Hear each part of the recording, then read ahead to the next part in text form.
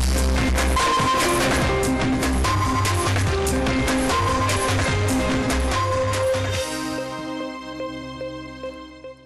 Ben ritrovati, questo è TG Padova, buonasera, edizione eh, che eh, riguarda naturalmente per la prima parte la festa della Repubblica, eh, 2 giugno, giornata di festa per tutti, anche se a livello nazionale insomma i sussulti sono stati tanti negli ultimi eh, giorni per questa Repubblica italiana. Allora iniziamo subito sentendo i padovani per quanto riguarda questa ricorrenza. 2 giugno, ha ancora senso festeggiarlo? Sì, mi credo di sì comunque. eh. Perché? Che significato ha per lei? Diciamo grande perché teniamo tutto insieme, eh, grande, grande, grande, la festeggio sempre volentieri. Il significato di festeggiare una Repubblica italiana libera e non dittatoriale. Che lei la sente? Moltissimo, Perché? perché anche mio papà era antifascista. Suo papà era antifascista. Sì, ha fatto anche la guerra, un partigiano. Che valori ha trasmesso quindi per il 2 giugno? Uno dei, dei valori di libertà, di pensiero anche. Non lo so, sono quelle cose che forse non so se abbiano senso, però siccome fanno parte della tradizione, il modificare queste cose crea solo della confusione, per cui è bene andare avanti così. Assolutamente sono indifferente alla cosa, quindi non, Lei non lo sente il 2 giugno in generale? no, non lo sento, non, non sono così patriottica diciamo. Una tradizione, insomma, Lei la sente? è bene che si festeggi, insomma. Lei la sente? Beh, in modo sì, diciamo, siamo eh, figli di, di- di- e stendiamo questa, insomma, questa festa.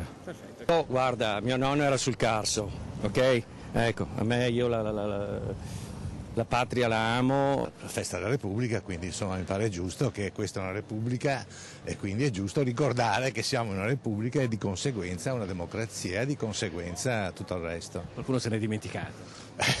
A chi si riferisce lei?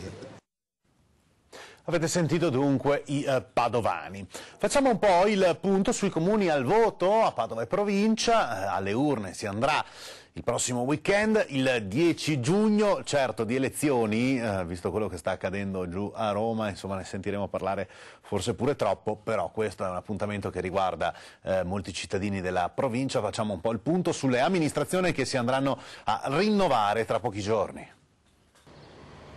Più a nord è Villanova di Campo San Piero, il più a sud è Migliadino San Vitale, attualmente commissariato. Sono dieci comuni che rinnovano le loro amministrazioni nel Padovano domenica 10 giugno. Il più grande piove di Sacco, unico che supera i 15.000 abitanti e che potrebbe andare al ballottaggio domenica 24 giugno. E partiamo da qui dove a contendersi la poltrona di primo cittadino c'è il sindaco uscente Davide Giannella, centrosinistra, contro Andrea Recaldin che ritenta la sfida per il centrodestra a cinque anni di distanza. Contro di loro prova a sparigliare le carte Chiara Patrizia Tardivello, candidata di rifondazione comunista. Si vota poi a Casalserugo, dove si contendono la poltrona che per dieci anni è stata di Elisa Venturini, Matteo Cecchinato, Alberto Danieli e Cristian Sartorato. Da nord a sud si vota anche a Mestrino, Galzignano, Maseracco, De Vigo e Solesino. Si elegge per la prima volta anche il sindaco del neonato comune di Borgo Veneto, nato dalla fusione di Santa Margherita d'Adige, Migliadino San Fidenzio e Saletto.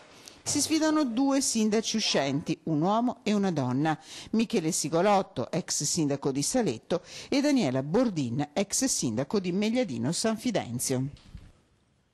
Allora, vediamo questa foto, lei è Francesca Battaglin, è una giovane ricercatrice dello IOV, IOV che ha partecipato all'ASCO 2018, il più importante simposio internazionale per quanto riguarda la cura e la ricerca contro il cancro, contro i tumori. Francesca eh, si è portata a casa il Merit Award per il suo studio eh, sulle variazioni genetiche nel tumore del eh, colon, quindi un risultato importante sul fronte della ricerca. Brava Francesca e naturalmente eh, bravi a tutti gli oncologi dello IOV che eh, in prima linea eh, si battono contro i tumori per aiutare la gente. Adesso parliamo del giugno antoniano a Padova, vediamo.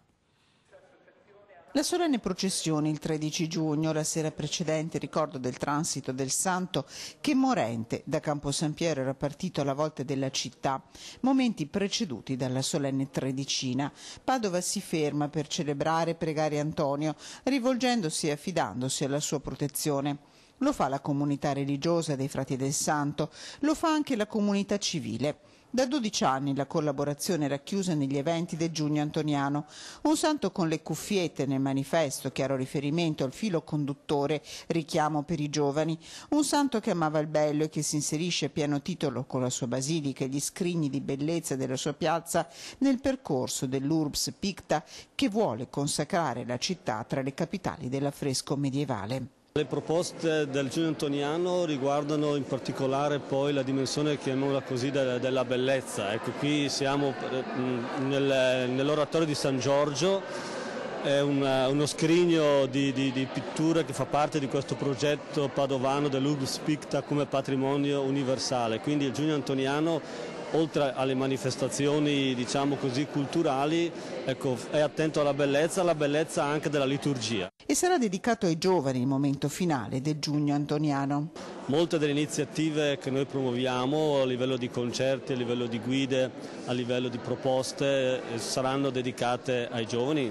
Segnalo in particolare il 22 giugno concerto finale del giugno antoniano con i The Sun, un gruppo che coniuga il rock con anche la testimonianza di fede. Percorso di bellezza, arte e cultura, ma il vero cuore resta un altro. Vorrei ricordare la grande fede, la grande devozione che attorno al santo sempre si rinnova. Faccio vedere queste immagini per chiudere il telegiornale, la nuova frontiera delle installazioni artistiche. Prendi una bella macchina rasa erba, prendi eh, dei blocchi di paglia e inizia a eh, insomma, eh, fare quello che ti piace, cioè un'opera di land art, è l'ultima frontiera dal punto di vista delle installazioni artistiche, sono queste opere d'arte disegnate eh, su campi eh, incolti come questo, oppure campi dove si coltiva anche eh, qualche ortaggio, eh, sono installazioni che vengono realizzate in mezzo alla natura, l'ultima frontiera eh, di questa nuova forma di arte, land art. Occhio che magari da un giorno all'altro il vostro giardino potrebbe trasformarsi in un'opera artistica a cielo aperto. Magari fate anche quattro soldi. A parte le battute, siamo in chiusura. Grazie per la vostra cortese attenzione, per essere stati con noi. Vi auguro un buon proseguimento di serata, sempre su Rete Veneta.